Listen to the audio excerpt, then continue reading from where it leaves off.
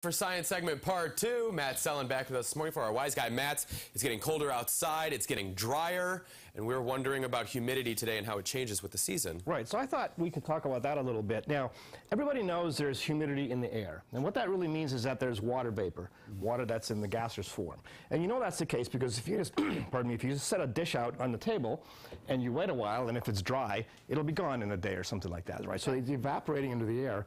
Um, the inverse process also happens where you have humidity in the air that actually condenses back into the liquid, but if it's drier, then you have more evaporation than condensation, and so you end up having that water going into the air. Sure. And so what, what nature really prefers is what's called equilibrium. That is when those two things are equal, the amount of evaporation and condensation, and that determines how much um, moisture air can hold, if you want to call it that way. And so it's sort of interesting. So what happens is, uh, so what I've done here is I, I've made these little shot glasses and I've written temperatures on them. So what you see here on at the very um, left one on the screen, that is how much air at 32 degrees Fahrenheit will hold. And this is air, when I talk about air, I mean one cubic meter, so sort of this by this by this, that much air Okay. will hold this much moisture. It's about four, four and a half grams.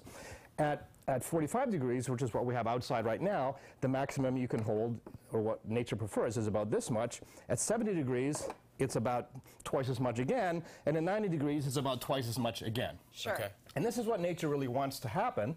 Um, so if the air has, for example, right now in this room, if the air had this much um, water in it per cubic meter, that would be 100% relative humidity. So relative humidity is what fraction of what it could hold is it actually holding.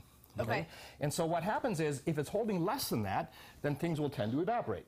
And so if you have about 50% relative humidity, that means that uh, you, it's kind of comfortable. And what that means is that the water that's in your skin and so on evaporates a little bit, but not too fast and not too slow. If you have 100% relative humidity, you know it's muggy, you can't lose any water at all, you feel yeah. uncomfortable. Yeah. If it's zero, then you feel kind of cold because the water is evaporating very rapidly from your skin and it feels colder than it really is.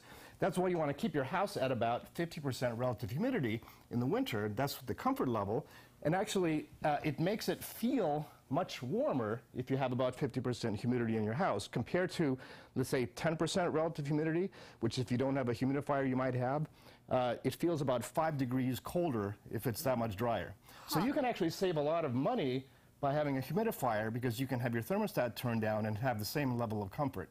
Now, the reason your house is so uh, dry in the winter is that outside, suppose it's zero degrees, you only have this much water per cubic meter of air. Sure. Now, that air is going to get in your house. Your house is not like hermetically sealed or Right, anything. drafty. So that air comes in. Suddenly, in your house, it wants to have, you know, this much, but it's only got this much, about a quarter. So suddenly, even if the air outside has 100% relative humidity, when it comes in your house gets warmed up, it's suddenly down to 25%. And the air outside rarely has 100% relative humidity, so it'll come in and it'll be very dry because it warms up.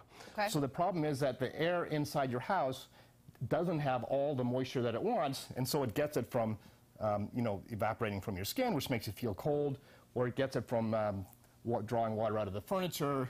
It makes your guitars go out of tune, things like that. Okay, and Yeah. so, uh, so it's important to have about 50% relative humidity, both in the winter and in the summer, just sort of for comfort. Is there a way you can test like what your Right. house, how much humidity your house has in it now? I'm sure sure we have like five percent. Yeah, yeah. So you can you can just get a little meter. So in fact, they're they're super cheap nowadays. If you just go to Really? the hardware store, you can get a thing that measures temperature and relative humidity and everything else. It's a little digital gadget, and it'll you know I have one at home that tells me what it is inside and outside. And I don't think it costs very much. So it's very easy to do this. And Cool. can save on your electric bill if you're turning the thermostat down just because Yeah. you have more humidity. And humidifiers are, are, are pretty cheap. You can just this ones that just evaporate water by blowing fan through a, a mesh that has uh, sort of wetness on it. So it's not that hard to do.